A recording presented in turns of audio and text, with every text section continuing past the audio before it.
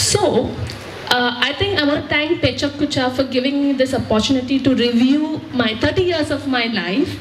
And today I am here kind of telling my story of being authentic and feeling enough as a woman. So, it starts as this young girl in Goa with this belief that everything is magical. So, this child of wonder who believes everything is magical. So I remember I used to be under a tree as a child and pray, saying, Give me something to play with. Like literally go there and then I would look around with a lot of amusement and I would find something. And then the child of joy, because we had a general store back in Goa. And I would go to aunties and pull their dress and say, Auntie, Auntie, random people just sharing laughter and joy and communicating with them, having a conversation. My mom told me the story, who's sitting in the audience. And uh, I was also a child of love because I always, uh, I was very pro-social growing up, didn't know it was called pro-social, but I felt connected to everyone without any reason and still feel that way. And after that, we have this phase in my life where I became child of obedience. Now there's a slide after where uh, which speaks about how I became. Should I stop? How I became a child of obedience, which I will share when the slide comes. Where I was trying to fit the image of a good daughter, a good student, a good sister, a good neighbor, everything that is good, good, good, good, good because something in me had shifted and I forgot who I am. I was a performer and also a, a, child of pain at that point. So in my fourth grade, I had to repeat my fourth grade because I was underage. And one fine person in my class, who was my senior, came up to me and said, You're a failure. And I just felt the earth should open up at that point and I can just go in, like, you know, and never come out again. When I ba went back home, my mom told me, you have to prove them, you know, that you are not a failure. And then the story started of being a child of proving, you know, going, winning stuff, uh, you know, going for the World Youth Day. I was so good with everything I was doing. But overworking and overperforming was my trauma response. I just wanted to prove that I am good. And deep inside, it never felt good. When I was 19 or 18, I had the gift of depression. I was depressed, clinically depressed, and that mirror you see was shattered. Everything was broken, and I was forced to see beyond this frame I had about my own self. And that's when I feel everything shifted for me. My mom told me, You were such a good girl before this, and then something shifted in you. And then the journey of courage and journeying the unknown started.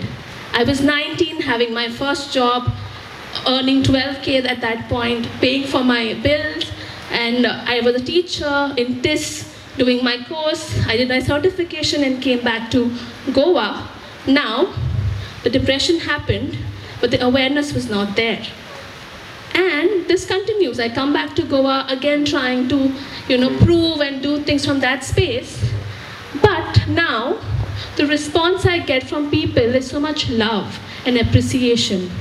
I'm doing everything right by the book, but still feeling something is missing out there. After that, I made a journey. Uh, so these are my clients from Goa and international clients. I was 22 or 23 back then. I went to UK to do my MA in psychotherapy, in dance movement psychotherapy, and I did some solo solo traveling and soul searching, new and free. And for the first time, I realized that the, the idea I had, everybody is me, just felt so real at that point. Nobody felt different, everybody was me. It felt like we are one. And I got myself a certification at that point, again, another certification. And that was uh, Pound, another fitness format I wanted to teach. Uh, at this point, uh, something was happening for me. Again, another wake up call, I would say, and life really got exciting. I had to leave my course in the UK and come back because things were not working for me. And I remember sitting at the door of my PG when I was leaving, just before my flight, when I had to go. And I said, God, I don't know, Like right now, I'm dropping the image of who I have to be, what I have to be, and I surrender and I see what's going to come. I think that day the real courage kicked in, actually. okay? And I think I went on a journey of finding my purpose. I was invited uh, in Bangalore to do this pound, fit, uh, pound fitness in a, a Fit Bangalore, pro, Fit Bangalore program. There were these things where I was seeing certain things which I don't, I don't know if it was, I'm not cuckoo, okay, I was sane, but I could sense certain things and I was asking, who am I? What is my purpose? Why am I here? And I have such lovely people who are like my spiritual mentors in a way who guided me and told me, Charisma, you're not crazy. You're okay. And uh, then I meet this amazing man. He's an epitome of love, but there are other people also in my life who are epitome of love and who are sitting in the audience right now and here to support me.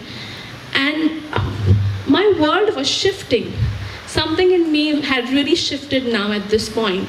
And I was finding pleasure in just slowing down and not being too, uh, you know, impulsive.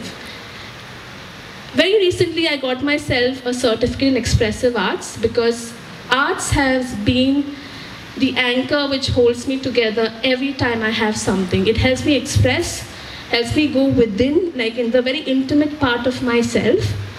And the, the whole thing I want to say right now is purposeful rest before the rest. I'm going to take a break ne this next month and find some time to really get to the next, uh, next thing in my life, which I don't know what it is right now. I have a poem. Can I just share? Okay. The poem is called uh, Purposeful Rest. In the dance of doing and being, I forgot to rest. I forgot to flow. I forgot to be. I forgot. In the race of being extraordinary, I forgot my ordinary. In the race of achieving, forgot I'm worthy of receiving.